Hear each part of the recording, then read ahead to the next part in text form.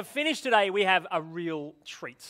So, if you came along to Web Directions a couple of years ago, the very last time we were in the convention center, we had this next speaker as uh, one of our keynote speakers and tremendously popular. Perhaps, certainly one of the most popular speakers we've ever had. Uh, Maciej I practice it so much.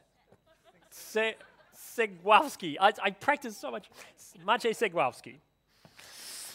Maciej Segwalski is our closing keynote speaker for today. He he writes beautifully and brilliantly in a funny and, and honest and challenging way. So if you haven't uh, gone and read anything he has, just go and follow him as Bacon Meteor on Twitter and just follow his writing. He's just had a Kickstarter project to get sent off on a five week tour to Antarctica with a whole lot of, woo, how cool is that? Uh, with a whole lot of people spending a lot of money to spend five weeks on a Russian kind of ship that's going to depart to Antarctica. Most people don't go. And he's going to write about it. So if you haven't Kickstarted that, uh, you should get on board anyway.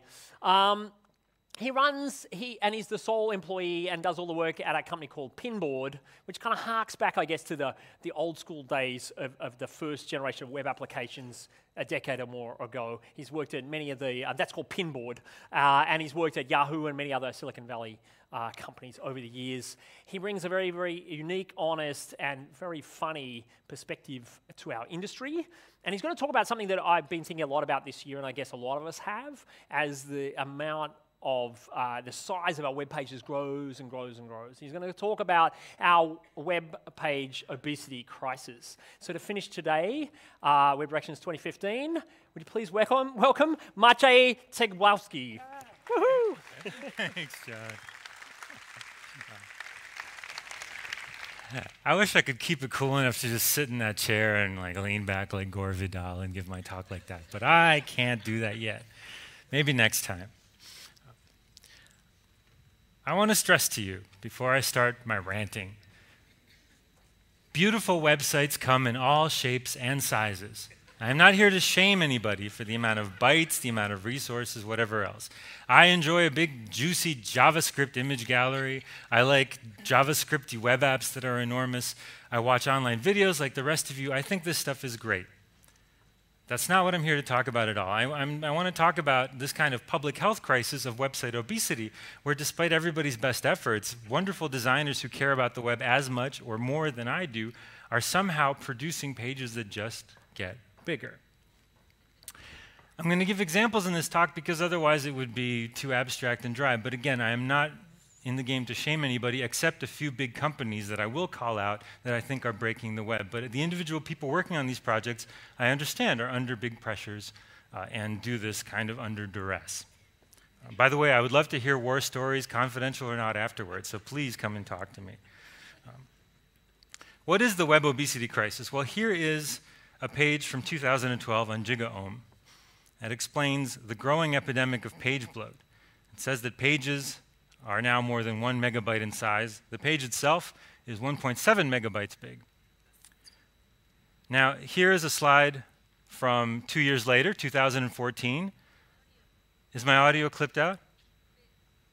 Can, can professionals fix the problem? Can people hear me?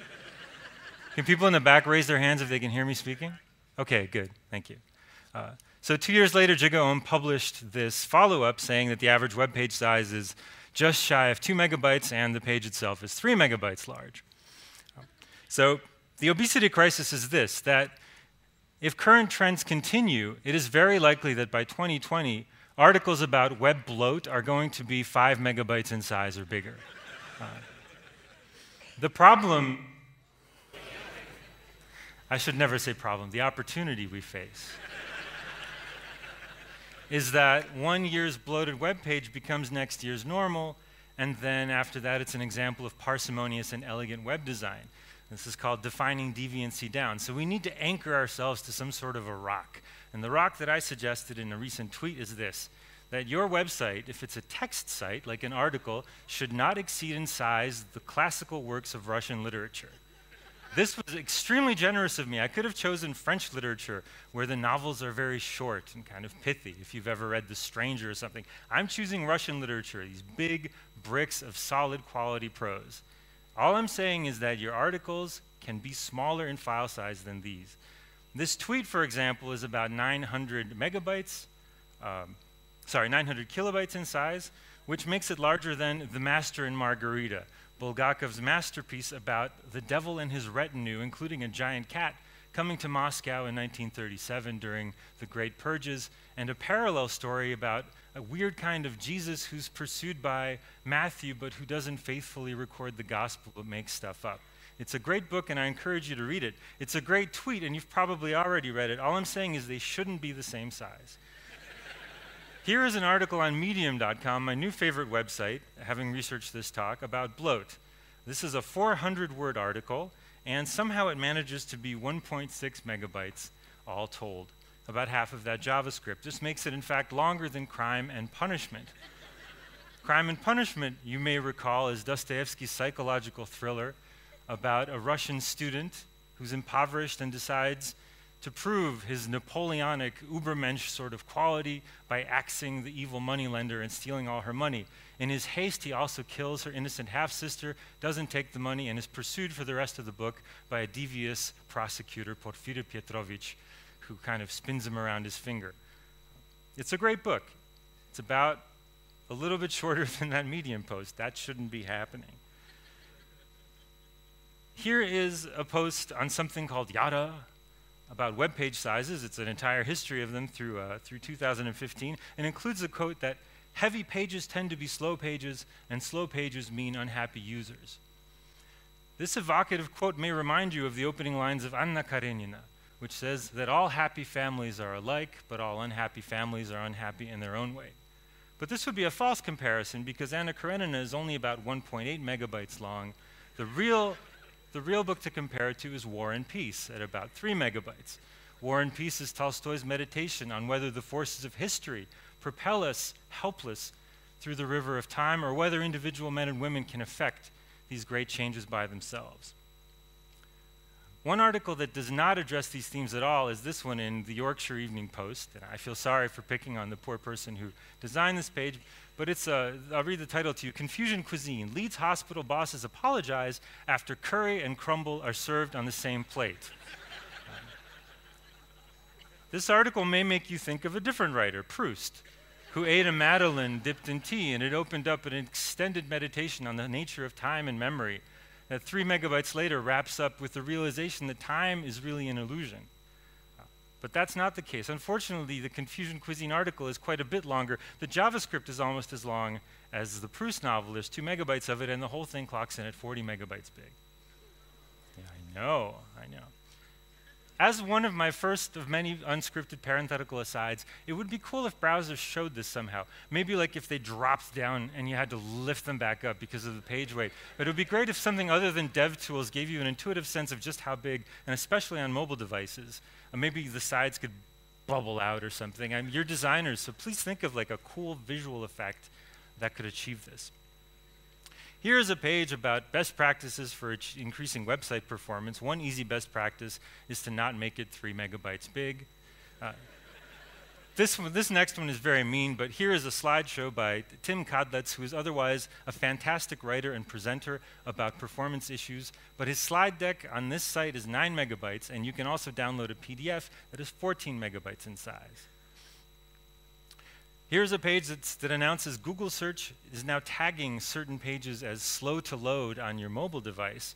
The page itself is 18 megabytes big, so probably it got a tag on its own. Um,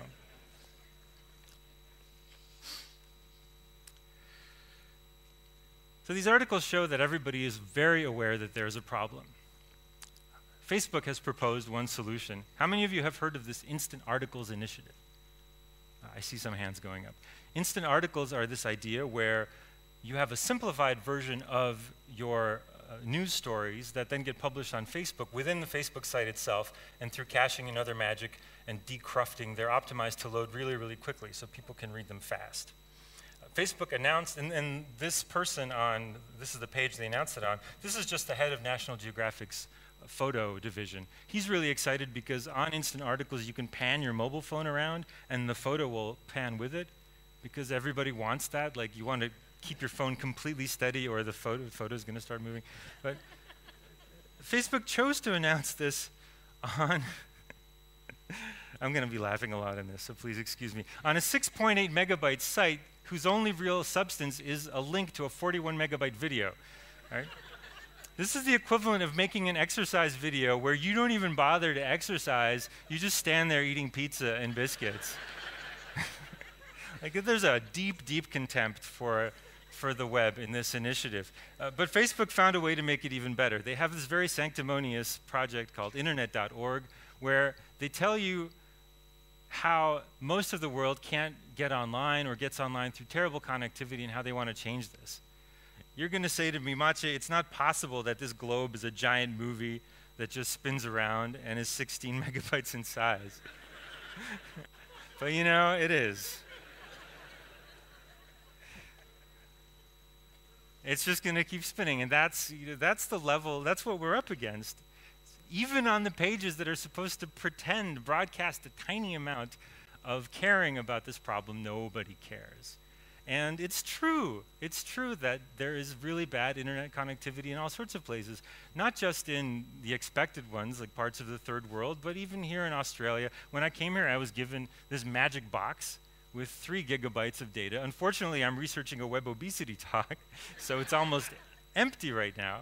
But I've traveled, I've traveled elsewhere in, uh, in, in, Australia, in northern Queensland. I've traveled in the South Island of New Zealand. I remember they treat the internet there like rare 100-year-old brandy.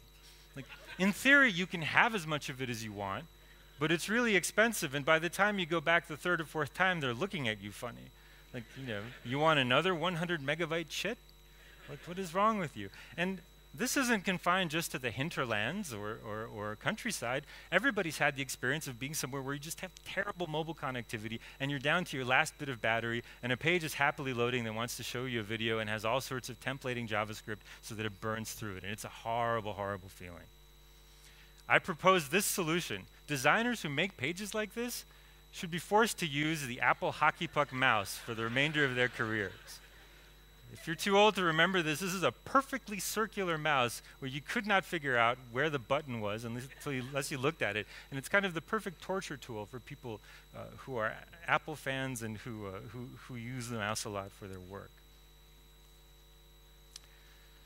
Google has seen what Facebook is doing and decided that it needs its own initiative. It has announced the Accelerated Mobile Pages Project. I'm sure you know where this is going. The Accelerated Mobile Pages project page is theoretically infinite in size.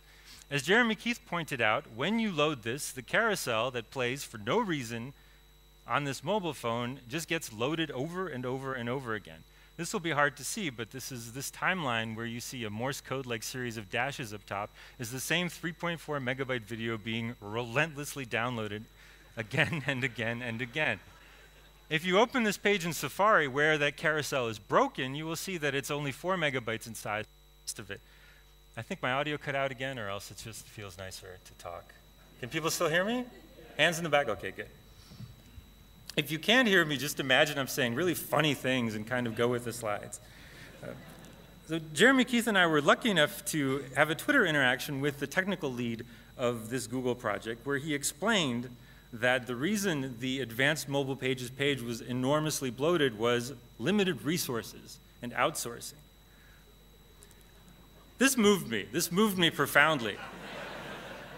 For all we talk about Google being a huge company and doing all sorts of things that make the web worse, running ad networks, they are up against it. They can't even afford to make a small responsive website for one of their flagship projects. So out of the goodness of my heart, I spent a couple of hours read up on media queries, and I redesigned their page for them, replacing these slide carousels with pictures of William Howard Taft.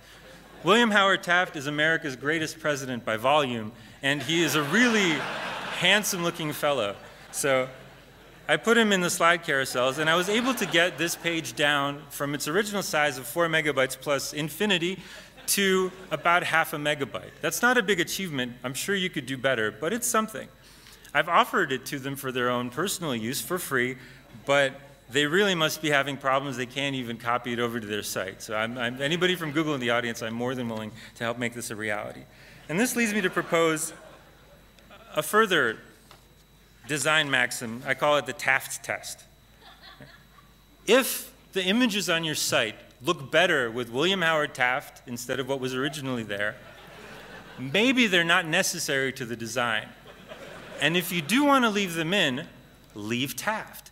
He's a fun guy to look at. I don't know if it's the mustache, if it's his, his fur coats, but he's just a genuinely friendly fellow to see. The idea that sending a, a compact web page is something that requires effort beyond and above the regular crap page baffles me. I have a very simple suggestion for how to make your pages perform you know, like, uh, uh, like something that performs well. Analogies escape me. Simply do a, a two-step thing. Right? First, send down only the content that is most essential, that has to be there for your user. And second, stop. Don't do anything more. Because you've already sent what they need by definition. Why do you then need to send them stuff that, by definition, they don't need? Have courage in your minimalism.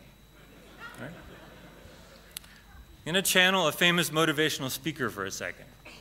I can go out there tonight, tonight, and in two hours make all these pages load in under a second. Every page that I've shown you so far. Can you? Can you? The answer is, of course you can. You're designers, I'm not even a designer. It's not hard. We knew how to do this back in 2002, how to make small web pages. It's not like the secret to Damascus steel that has been forgotten and archaeologists are searching for it, but something is preventing us from doing it. It's very, very odd. I'm a person who has struggled with my weight all my life, so I know all these secrets that people who are trying to lose weight use when you're comparing yourself to how things used to be. You suck your gut in, or you know exactly where to stand on the scale, right? So, web designers have come up with analogous things, metrics that they use to convince themselves that everything is fine. My favorite one of these is speed index. Who's heard of speed index? Raise your hands, please. Okay, we have, we have quite a few people. Only Google would have the arrogance to just casually throw in an integral sign in explaining speed index. The idea is that the, the, user is looking at something and then it loads, and the more of it loads faster, the better it is because it creates the illusion that the site might actually be ready. Of course, the only honest measure of page loading time is from the moment that you click the link or enter the URL until the user has finished closing the final ad on the page. That is the only honest measure if you really look at it because all of this speed index stuff, you're still hearing the laptop fan whirring like crazy as it loads the 45 megabyte ad down below or where the user is about to scroll. And you also don't know how many other tabs are open that have also completed rendering according to speed indices but are still going strong as far as the resources they pull in. So there's this fundamental dishonesty. When I argue these questions with performance experts, I feel a little bit like I'm talking to people who drive around in a giant SUV. And they have all these tricks like if you deflate the left front tire, you can corner faster and it helps your mileage a little bit. Or you fold in the mirrors and then you, you pay less for petrol.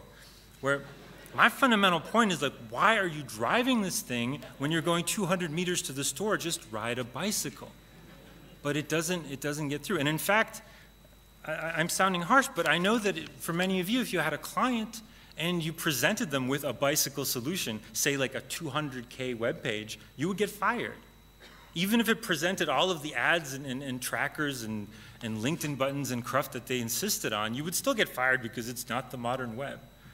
So I, I, I empathize with, with, with everybody who has to deal with clients and with this, this climate, and I don't have the answers, but I have the luxury of being up here and being drunk and being able to say whatever I want about it.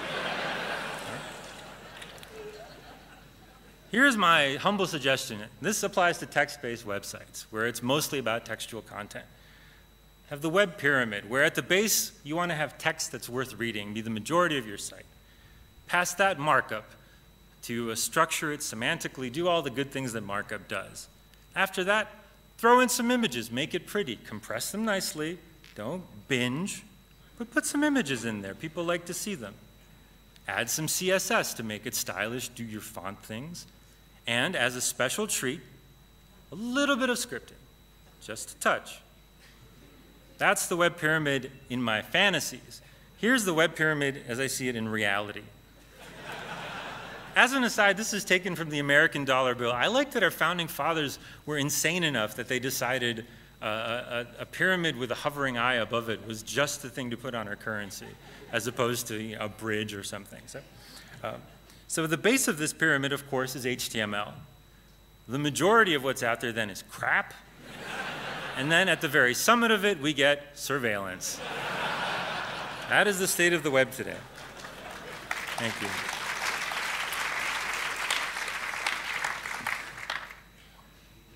Let's talk about something important. Let's talk about really fat ads. Because I, I, sense a wave of despair emanating from the audience. You work hard, you care about performance, you minify everything, you do everything you can to make these sites blazingly fast and fairly small, and then you're required to put in ads. It ruins your visual design because they have to go in, in places that ads should never go. And it ruins uh, your page size because they're vast, and most importantly, you have absolutely no control over what might show up there.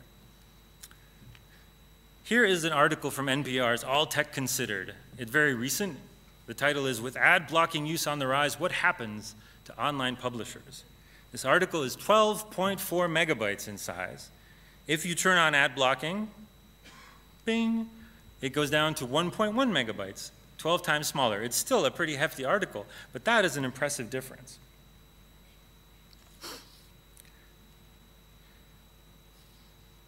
If you look at what is getting pulled into this article to make it so enormous, it's not just movies and things, it's also a lot of JavaScript every share button, every every widget, every one of those Taboola ads that takes you to terrible places on the web, everything comes with its own little suitcase packed full of JavaScript that's utterly opaque and uh, untrustable, frankly. Ads have become the major vector for malware. So you're in this impossible position as designers where you're supposed to make a beautiful web page and then they give you hideous things that get thrown into it at render time, so you never even see it. It just goes straight into the, the template of your design. Advertisers have taken a fancy to this format, which I, I, have grown to love. This is even better than word clouds. This is, it's called like something like the marketing landscape. But basically, they just put logos in and then give them weird category names. So this is the marketing tech landscape from 2011 with 100 companies. Here is the one from 2012 that had 350 companies in it. Here's the next one from 2014, now 947 companies. And finally, today in 2015, ad tech has grown to 1,876 companies in this mysterious sector. advertisers will tell you that it just has to be this way.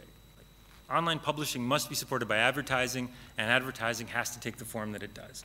You have to remember, though, when you're dealing with advertisers, that advertisers are liars. I don't mean this pejoratively, I mean this as a job description. Their job is literally to convince you to do something you would not otherwise choose to do. And one of the things you would not choose to do as designers is to put all this crap in your web pages. But they convince you that the bloat in performance is the price we pay for free content. And if you ask why we can't actually just design the pages with the ads themselves already in place so we exercise some control over the process, I'll try to get back to that point later. One thing to do when you're studying a really complicated system, especially when it's trying to obfuscate itself so it's not understandable, is to look at, like, zoom out at the really big picture. This is a beautiful German slide about the energy balance of the Earth. So you see that from the sun, the rays come down and they get reflected. And you can follow the widths of the arrows and stuff and figure out exactly what the energy budget is, how much the clouds reflect, and so on. So I've done something similar for the ad tech industry. And this is the, the, the political economy part of my talk. Please pay close attention. In a terribly misguided attempt at cultural sensitivity, I have attempted to represent the customer as a kangaroo. Um, so the customer has, uh, has some sort of relationship with a merchant. Uh, he pays money, or as you call it in Australia, dollars, to someone in exchange for goods and services, and everything is normal. Part of that money is deflected into the ad ecosystem. Uh, it's sort of like a little consumption tax on every purchase that you make. This is normal too. The merchant has paid for some advertising, something has happened to draw your attention to the product, and a portion of your purchase price somehow eventually goes into the pockets of these marketers. As you notice, again, there is an awful lot of them. So that's the money going in. How about the money going out? Well, it goes out to several successful ad networks that have managed to make huge profits from the marketing ecosystem. Companies like Facebook, Yahoo, surprisingly enough, and Google. All of these have found ways to make a killing off the advertising market. But if you notice the sizes of the arrows, they don't balance out. The money going in is fairly small compared to the money going out. The missing piece is investors. Investors see this opportunity, this growing uh, set of ad tech companies, and they are pouring money in, and that money helps balance out the, the profits being pulled out of the sector. The problem is this the opportunity is this that investors eventually, someday, want to be on the other side of the diagram. They would like to be getting profits that are bigger than the investment they put in. When you look at this, of course, the arrows really, really don't balance out. And what happens next is fairly obvious. In fact, I, I actually believe that this is happening now, that we are seeing the first signs of desperation in the ad tech market and the symptoms of that desperation being clawing for greater and greater advantages through surveillance over your competitors, consolidating data sets between companies, doing everything possible to try to distinguish yourself from all the other fish in the sea.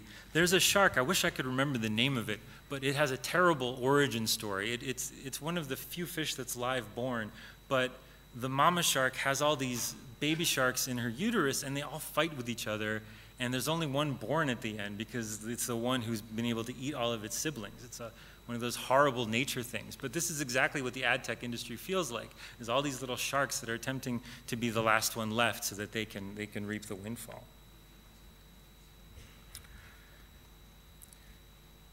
So what we're going to see, as I said, is a wave of consolidation, ruthless tracking, people combining databases, and the complete destruction of what remains of our online privacy unless, like I propose, we regulate the hell out of this system right now. This is the apocalyptic vision of the ad-free future. I've argued that we fundamentally need to ban third-party tracking and third-party ad networks. For you people, it will mean that whatever ads are on your site are ones that you actually designed in.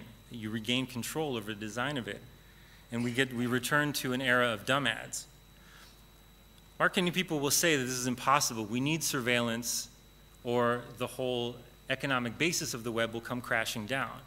But I don't believe that. The surveillance is fairly recent, and when you listen to marketers talk among themselves and read their studies, only something like 10 to 15% of them even say that they're using the data they collect.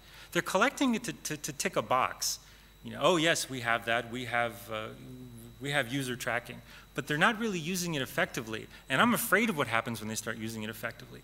You may not have noticed, but earlier in my slides, the ads that you were seeing were, were for things like uh, Qantas Airlines flights to Australia and other stuff that I had just surfed in the incognito window that was being retargeted at me for marketing purposes. So this is you know, incredibly invasive, even in this sandbox situation where I'm researching a talk and I have no cookies and nothing, after three or four casual visits in places, they know a lot about my interests. And they want this to continue, and I want it to stop. Advertisers will say that there are no alternatives. Micropayments, for example, are dead. Micropayments are an interesting case. This is a graph, uh, I'm sorry that it's not particularly legible. It's from the New York Times recently, where they calculated the cost in bandwidth on a typical American data plan of opening sites in your, in your mobile browser. So boston.com, for example, costs 32 cents on average to fully download all of the advertising content, and then about 8 cents for the stuff that you wanted to read. So we have micropayments implemented and working well. The only problem is they're going to telecommunications companies. They're not going to the publisher. Imagine if on every page load these sites got a couple of pennies. They could completely remove advertising, be faster, better designed, and they would still be making more money than they are now. But we're told that this is impossible. I think it's just very, very hard. But there's no reason we can't work on it, particularly that we've accidentally implemented it in a way that doesn't help us at all. And of course, the worst thing from a design perspective about advertising is you're told for reasons of performance, put it in last, always put it in last. But these ads, they arrive after the page is rendered, after your speed index tells you that everything is fully finished, and they just kind of elbow their way through your design. They expand, they move, they create an overlay. You have no idea what they're going to do. It's kind of like having a party The music is on, everybody's arrived, they're eating snacks, they're starting to dance, and then a salesman barges through the door and says, I'm going to sell some Tupperware. Please sit down and take a look. It's a horrible user experience, and it goes against all the instincts that you otherwise use in web design. So, what I'm arguing in favor of is not abandoning advertising. What I want is a return to dumb old ads. Again, the ad tech industry says we can't have dumb ads, they will not possibly bring in enough money. But think of the things that dumb advertising paid for in the past. Dumb advertising bought the Batmobile. It was enough to like create these television shows with enormous sets with fancy uh, costumes, with Batmobiles, and show them on TV for free, supported by really poorly targeted advertising. And it somehow carried the whole radio industry and the whole television industry. But yet we're told that it's not enough to pay for a designer and a server and a couple of freelance journalists. Freelance journalists will write for peanuts. You and I both know it. The ad industry says, well, of course, dumb advertising would be better if we could put, for example, a camera on your television. Then we could really know how to target things so that they don't waste your time and best meet your expectations and so on. But, you know, I think we've heard quite enough from them. Let's talk about something different. Let's talk about fat assets. This is a problem that has been plaguing us since the beginning of the web. Uh, the idea that we accidentally put things in our pages that are just oversized. Here is a travel blogger's website, ordinarily quite small. This is a person who prides himself on, he's kind of snooty about uh, the direction the web is taking, but here he messed up and he put in a three megabyte image.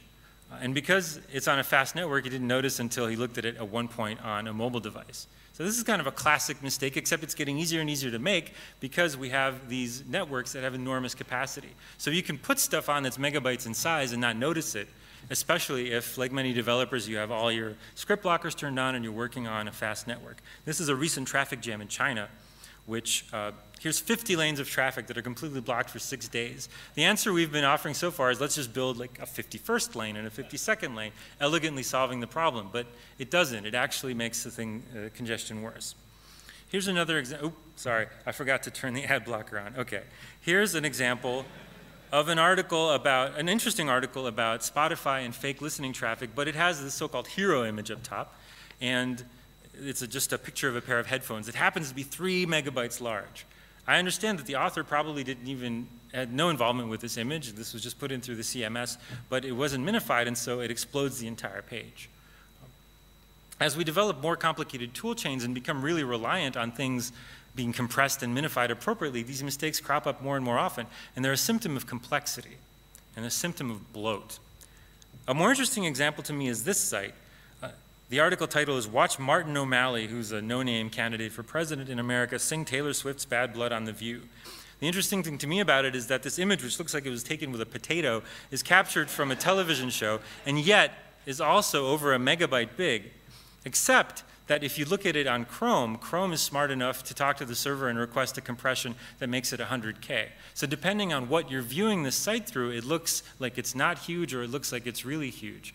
And again, as designers, this is a problem we face more and more. We actually don't know what our site looks like at all because there's a combinatorial explosion of devices, screen sizes, widths, and types of software that are interacting. And on the same page, down at the bottom, in the area that advertisers charmingly call chum, these, these cheap ads, there's an animated GIF that I've circled that is 1.1 megabytes in size. It's bobbleheads on, on some dancers. Again, it's snuck through the entire, whatever quality control process this fine website has. Uh, but there's no, no one more uh, offensive about fat assets than Apple. Uh, I clicked around on the Apple page a lot, looking to see what I could find. And I think it was the iPad Pro iOS 9 explanatory page that won. So I'll try to do this in salesman mode. How big do you think that this page, which has about 10 sentences on it, is? Well, you get not only an entire original iMac at 32 megabytes, but you get enough room for the Macintosh SE, 8 additional megabytes and the Space Shuttle main computer, one megabyte, not just for one space shuttle, for all of them. With enough room left over on this page, this 51 megabyte page, for the entire works of William Shakespeare. So I think this is a marketing stunt by Apple. They make these pages so incredibly heavyweight so that you load them with your device. I'm like, man, I can't wait to get one of these Apple iPhones because this is just a terrible, terrible phone I have. Uh, I call this approach uh, chicken shit minimalism. This is an article I wrote recently on Medium. Because it's a 50 minute talk, I'm going to read it to you in its entirety. chicken shit minimalism, the illusion of simplicity backed by megabytes of cruft. And of course, this is 1.6 megabytes big. And when I tried to dig into why, why it was so big, not just the 400 uh, kilobytes of JavaScript, but this image, really big, like 900K at the bottom of the page, it wasn't even reachable by scrolling. You had to kind of cave dive down into the footer to find this. I don't know what it is. It's astronauts with tablets and iPhones, but it's there. Why? Why? Here's another example of chicken shit minimalism, the Google contributor page. The idea of Google contributors, you can pay Google a ransom to not show you some ads. Uh, the contributor page is four sentences long, but you have to paginate through like an animal. And at the end of the pagination, on this 1.1 megabyte page, it tells you this is only available in the United States. Some other examples. Here's a, a, poor beer company's website that I will now publicly mock. It is just a giant image and then in the corner a hamburger menu. Right? You're not going to solve your web obesity problems and your flabby interface with hamburger menus. They are not the answer. For some reason, design companies really love this approach. This is an even worse example. I don't know if you can even see the tiny three bar hamburger menu on, uh, on, uh, on the screen, given the resolution up here. Um, but the greatest example, the one they will put in museums about faux minimalism, is Verge's review of the Apple Watch. How many of you have, I don't know if read is the word for this article, how many of you have attempted to load this article in a browser? All right. Please don't try it now because you will crash the site internet. What happens is that your scroll event starts doing everything possible. Things coming from the left, things coming from the right, things that you haven't seen since high school call you up and ask how you're doing. Everything happens except what you would expect, which is just scrolling through the document. The Apple Watch review is an absolutely useless piece of writing, even though it's probably quite good because it's been, it's, it's been designed to try to look like native uh, iOS behavior plus added transitions and animations. Something happened to designers uh, when the iPad came out. It was some sort of a brain fever that not everybody's recovered from. Here's an example from the uh, uh, wired.co.uk. For some reason, they've decided horizontal is the new vertical, and the scroll event is hijacked, so everything goes off to the side, and everything is also in these big squares, except for the tiny navigation on the left. Here's a similar, here's a local page from Baltimore that I found where for some reason it's completely illegible giant infographics. This is captured from a full-size screen. Virgin America is really in love with this iPadization of interfaces where you have uh, something that's centered again on a giant screen with, with enormous letters. When I try to book a flight, I have these vast apartment-sized text areas that I can fill in, but then tiny writing underneath them. My favorite is the calendar widget, which shows me giant, uh, giant dates and boxes. The one piece of information I want, which is the price on that day, is written tiny script below it. And everything is separated by acres of white space. I should not require sled dogs and pemmican to navigate your visual interface. These giant tundras of white space are doing nothing for me. And where it's particularly painful is in any kind of an information dense interface. Here, for example, is PayPal's old design. I didn't wake up every morning and fall to my knees in gratitude that I could gaze upon PayPal's design yet another day. It didn't do that much for me, but it did let me get my job done. Specifically, it let me sort things by different criteria, it let me see a lot of payments at once, and it was fairly quick. What it's been replaced by is this. The most prominent design element on this page is this nagging empty photo telling me that I haven't shown PayPal what I look like and completed my profile. And then there's basically ads for me to download the app and so on. There's no way to sort. The biggest flaw in the design, of course, is how blurry all the information is. I can hardly read it. Um, so these interfaces, I feel like I shouldn't, you know, every information product I interact with shouldn't be designed for someone sitting on a public toilet, bored, just going through their phone. It's okay to have something information dense for when I need to get work done. There's a trigger alert. I'm about to show you a screenshot of a Google Reader screen. I apologize if that hurts you. But again, if you remember, the old Google Reader design was horrible, but everything was packed together and was very effective. You could read stuff quickly. Google did a site-wide redesign. You see the most prominent interface element here is a subscribe button. Something you almost never do once you've set things up. The rarest action gets the most prominent button, and then everything again is separated by these vast quantities of white space. This looks more reasonable now than when it came out because other sites have gotten so much worse. But Google is kind of site-wide doing this. This is a, a this is a site that lets you control your Google ads. Like, no, you control your Google ads. You're the one serving them. But I went there, I wanted to set my interest up as I'm interested in nothing, and please don't bother me. And you see that after uh, you know, 15 years of observing my behavior, they haven't, they've got my age right, but they haven't figured out that I'm a dude. Um, but again, I have to, to set these things, I have to like hunt for these little treasure troves of text on a vast white field. Here's the Docker homepage that has the same problem. Like, we'll make illegible tabs and then just create vast distances between them. Um, the worst thing is when you, when you see search engines that take this approach, and you have things like one single result and vast buttons when what you really want to see is as much information as possible. Um, and finally, I want to talk about something in responsive design that I don't quite know if to classify as obesity. I think it's a problem, but I, I have no idea what the solution is or whether it's been articulated.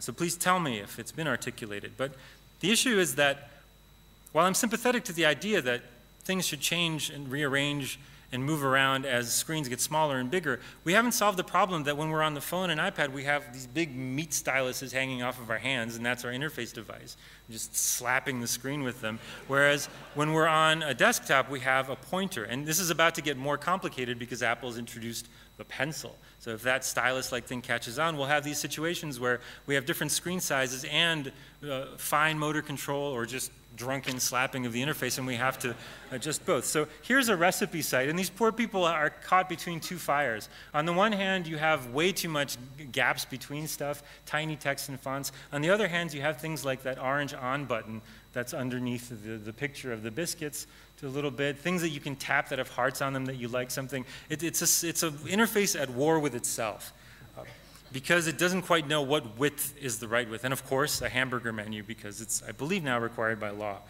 Here's a, here's a Forbes page with the menu clicked open. You see another uh, interface at war with itself. I don't even know what's going on here, and I stared at this for a while. I tried clicking on Some things have up arrows, left arrows, right arrows. There's all sorts of multiple places where you can tweet this important piece of information there's this expandable menu that's somehow open but has its very own scroll bar, and I'm not sure what happens if I scroll it. And then just to cap it all off, there's this giant banner ad with its entire own idea of how big it should be and you know, stealing attention from everything else on the page.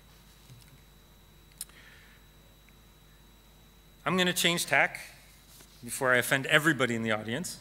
I want to talk about heavy clouds. So I have a friend who makes biscuits for a living. She's very good at it, and like a lot of home bakers, she started off making everything in her kitchen. Very soon discovered that it was going to drive her crazy. It was constantly hot, her oven was basically breaking, and at some point she had to bite the bullet and go buy some piece of professional restaurant equipment, an oven, let's say. Now, if you're very good at baking biscuits, that doesn't mean you're any good at picking out this equipment, installing it, knowing how to use it, knowing how to negotiate the price, but that's what she was stuck with. For a long time, as developers, we were stuck with the same problem. If we wanted to have a website and it got big enough in scale, we were forced to at some point procure hardware for it, install it somewhere, and negotiate the prices. Until the cloud came along. The cloud was this amazing innovation by Amazon uh, that said that you can rent this stuff basically by the hour. If you want storage, have as much as you want. If you want fancy equipment, have as much as you want. Computers as big as, as, as, as we can make them. All of this can be yours. And this was genuinely revolutionary. Suddenly, if you had a success, you could rent a vat or whatever it is you needed, and you could you know, feed a, a, multitude instead of just 10 people that you thought were coming to dinner, and do it all on the fly. However, it came with a caveat, and Amazon was very upfront about this. So it said even though you can rent as much equipment, as much kitchen space as you need, the handles on the frying pans are pretty flimsy. And the ovens might break. We guarantee certain things. So Amazon might guarantee that the freezer would never thaw Never, ever, no matter what. The freezer will remain below freezing. But it's possible that the door will be stuck for hours at a time. So when you plan your cooking accordingly, make sure you factor this in. This isn't skullduggery on Amazon's part. This is the nature of distributed systems. But it forced people to think in a different way. And unfortunately, it's a way that is extremely enticing to the programmer mind. It forced people to build distributed systems. Now, building websites is a little bit dull. You have some content in a database, and you need to hook it up to a template and serve it. It's very important work, but it doesn't fire the imagination. Building distributed systems, right? It's like if you went to your accountant who does your taxes normally and said, I'd like you to investigate tax shelters in the Seychelles, and here's a ticket, fly out there, see what you can find out with the main banks. You know, a dream come true, like something to engage your mind, fun to work on. So it didn't make things any better when Amazon started offering more automation. So now this kitchen had robots that would do certain tasks for you. You, could program them to, to slice and dice. What's more fun, cutting an onion or programming a robot to cut the onion for you? it's a lot, lot more fun when you're a developer. And Amazon keeps introducing more and more layers of this. Also, companies like Google and Facebook are working on open source projects for managing their truly enormous data centers that then percolate down. And people love to play with this stuff. I love to play with this stuff. It's cool. As I've said, complexity is a bug lamp for smart people. We're just drawn to it. And the same thing happens on the front end as does on the back end. As soon as these computers become fast enough to really run layers and layers of virtualization software on, then we start putting layers of software on and playing with that. As soon as the browsers become fast enough to render anything you want, and JavaScript becomes standards compliant and fast, well, then we build our own templating systems in them. It's, it's the human condition. So we end up with a lot of this sort of stuff. Terrible cloud overkill. Um, here's an example from, I want to make sure I, I quote the man's name correctly. Wow, I've really blown through this talk. I believe the man's name is Adam Crane he basically uh, wrote a blog post about Hadoop and big data manipulation. Someone had enthusiastically written a tutorial about how to analyze chess games with Hadoop, which is one of these things that you use data centers in order to process tons and tons and tons of information. Uh, and he pointed out that for this size of data set, it was actually 235 times faster to just use a shell script if you wrote it correctly. Uh, this happens over and over again. The, the cloud thinking kind of colors your sense of what can be done and what can't be done. It's not because these people are dumb and they don't know that computers are capable. It's just that when you've spent enough time with all these virtualization layers between you and actual hardware, you don't realize how much more effective it has gotten. Um, I'll give you an example from my own recent past. I run a bookmarking site called Pinboard. I recently heard from a competitor, we'll call them Acme, uh, and uh, Acme is in a bit of a pickle. We had a, a negotiation about possibly buying Acme, and they told me that you know, I have uh, 8,000 daily users saving bookmarks. They have 3,000. It's about the same. I could handle that. Uh, we both have half an employee. I dither away my time and I travel the world giving talks. They have an intern working half time on the site. We both make some money from it. I make about $12,000 a month. They make about 5,000, which per user is, is, translates to roughly the same. And then we got to the hosting bill. And they told me they were paying $23,000 a month because they're on the cloud. They have God knows how many dozens of servers on Amazon Web Services. But through heroic effort, they had gotten the hosting bill down to $9,000 a month. So, from my perspective, bookmarking is a lucrative business that lets me stay self employed. I make about $11,000 a month from it. From their perspective, it's a terrible money loser.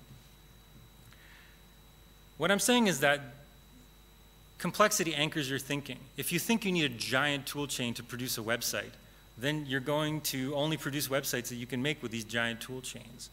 Or if your boss thinks that, it's even worse because you can't persuade them otherwise. Similarly, if you think that you have to have systems that can operate at scale, then you're only ever going to try to build those systems. People kind of compare their stacks, right? like, what's in your stack? Oh, you know, my stack's got all these pieces of software. I, I have this incredibly uh, inefficient workflow. I think, to me, Stack is a word like polyfill. If you use either one of those words, it's a glaring red light that something's gone terribly wrong in the way that you think about the web. All right? Reflect. You've made a horrible mistake. I see I see all this happening, and no matter what we say about web bloat, like, it never gets fixed. So I'm going to try to motivate you with what motivates me. I think there are two futures possible for the web. The first one I envision is the Minecraft future, where the web is kind of, it's kind of blocky, it's never going to be very pretty, uh, but the purpose of it is to make stuff, make cool stuff, make stuff with other people, be inventive, play. There's no real set predefined goals except for a very basic set of building blocks. And you can do astonishing things. Here's a city made in Minecraft. My favorite, of course, is a CPU, a working CPU with Redstone that who knows who the people are that made this, but it is an incredible achievement. So a playful and fundamentally like contributory web where you're expected to pitch in and do something neat with it. You can hack on the pieces if you have the technical expertise, but the fun is at the, at the next level up. Versus this idea of the web as Call of Duty. The web is being beautifully produced, requiring an enormous number of people, something that you can never get your head around because there's too many distinct layers, something with long pipelines, something that somehow looks the same even though it's really beautiful, but every one of these games is dark brown and resembles, resembles the others, something that encodes a, a very imperialist and troubling view of the world that you can't quite object to within the game, you can only not participate in. So, I've, this is the serious part of my talk, so you can't be laughing now because we're going to get hortatory, right? Let me get to the hortatory H section. I think the most important thing, as, as, somebody who is here in Australia because you flew me across the ocean, because in 1999 I happened to blunder into learning how to do HTML by viewing source, I think it's important to get as many people participating in the web as possible, to get tools that make it easier to participate in the web. You don't have to become a full-fledged coder or programmer, but it should just be possible for one another, for all of us to learn from each other's code without uh, without having to take special lessons to be able to peek under the hood we should have tools that make it as easy to get online with your own stuff on your own servers as it is to get online on Dropbox or Facebook, these sites that are kind of uh, the AOL of, of, of the present. They're trying to encapsulate the web and have all, the, all of people's interactions happen within them. I want us to commit to the idea that as computers get faster and as networks get faster, the web should get faster. I want us not to panic when the dinosaurs of online publishing try to trample us while they're stampeding away from the meteor. We just have to hide in our holes and wait for them to pass and nature to take its course. They're all going to go onto Facebook and Google and try to sell their articles there. That's normal. It's our job to create a cool web outside of that.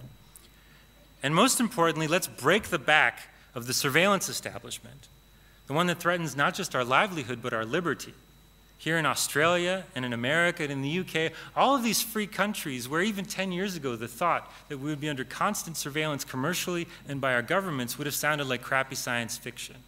We have the power to change it by doing our own thing, by being independent and by making websites with each other and for another. We just have to stand together. Thank you so much.